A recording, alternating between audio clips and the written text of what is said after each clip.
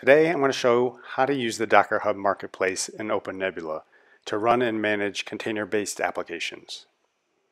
So in the demo, I'm going to review how to access the Docker Hub Marketplace from Sunstone, how to import an official Docker image from the Marketplace, how to then update the VM template that's imported from the Marketplace, and finally I'll show how to deploy the Docker application as a Firecracker micro VM.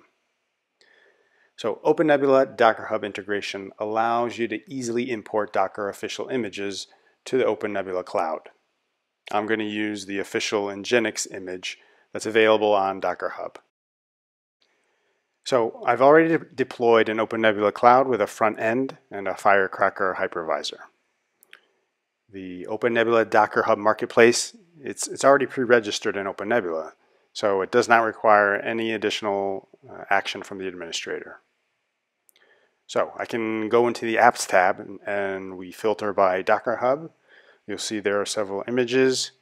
Here I'll search for Nginx and download it to the default data store. Okay, I can also select a tag for Nginx. For example, here I have the one for stable alpine.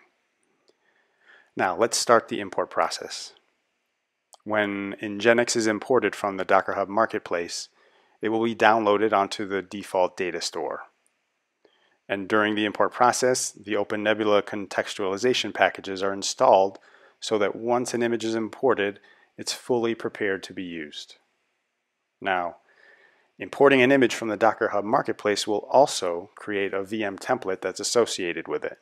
And this template can be customized. Okay, in our case here, I'm going to add the network. Then I'll need to select the kernel image that's already imported from the files of the data store from the marketplace. And then in the context, I add the script to start the Nginx application when the micro VMs boot up. I'll then set the root password in the custom var section. All right.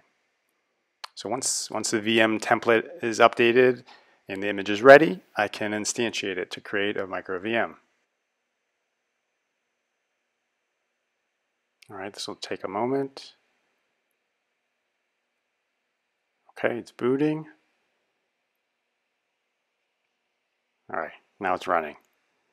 So now I can access the micro VM by using VNC.